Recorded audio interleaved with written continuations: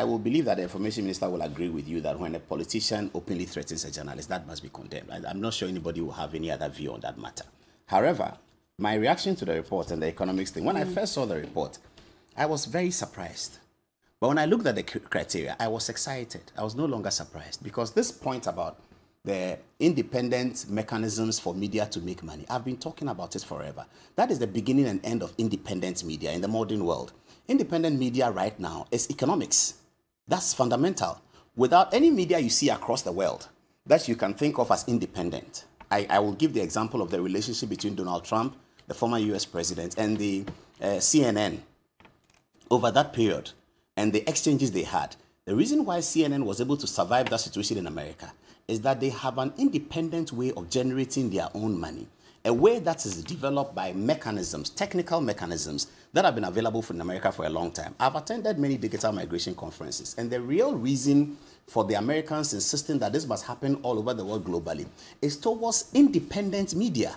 That's the fundamental thing. But in Ghana, over the last four years, five years, the conversation about media independence has never included economic independence, being able to generate your own resources. So when I saw that, I was terribly excited that, oh, finally, we now have this criteria, and it is the reason for why Ghana is looking bad. But Ghana will certainly look bad if you are using the economics criteria. And I was gratified that it's not so much about security and other criteria, but it's fundamentally about economics.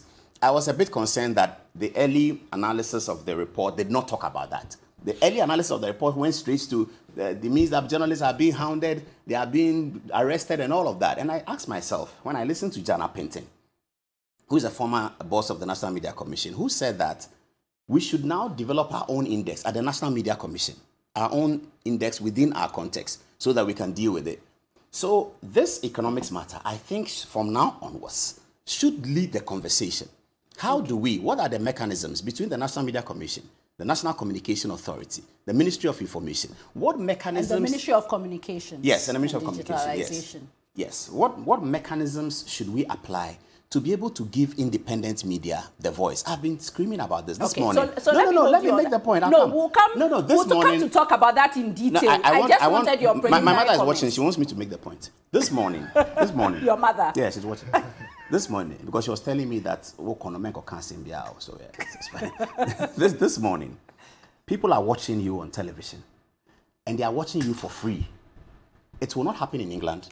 It doesn't happen in America, except you are the state. In fact, America it doesn't happen at all. In England, if you're the state broadcaster, it happens. So it happens, but people pay TV license fees. Yes, so the state uh -huh. broadcaster gets that. Yes. Okay. So at the end of the day, you are now, still paying somehow. What we have been doing at the NCA is that develop a, a box, a, a decoder for Ghanaian television. On that decoder, give an option of pay TV. TV3 can decide that our program uh, key points is so good that we want it on the pay channel. NCA will look at it. There's a criteria to determine which one can come on the pay channel. So it comes. So people who watch TV3 this morning will see you start the program at 7 a.m.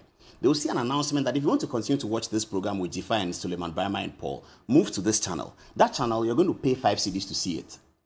If and until we are able to achieve that, and it has been achieved in all those places in the world where we admire their television. So when you walk out of this studio this morning and your program is good and people like it, you may have ended up with a million cedis on Saturday morning. TV3 continues to build up its programs for the, for the pay channel. By the end of today, they may have made 5 million cedis. That's the independence that you need. That's what you need. So in England, when I worked a little bit for the BBC, they don't even travel with officials. Sky News flies their private jets with their reporters to the European Union conference. That's independent. They okay, don't even so travel with them. Okay, so we have to travel with them. pause there. No, no, we, have to travel with them, don't we? We have to travel with the uh, Vice President. We have to travel with mm -hmm. John Mahama. But if TV3 could have his own helicopter and say, Jifa, we hear President Akufo-Addo is going to Apiate. We are going with him. The helicopter takes off and it's branded TV3. When you arrive there, what's the information minister going to tell you? In fact, you can decide to ignore him. Okay.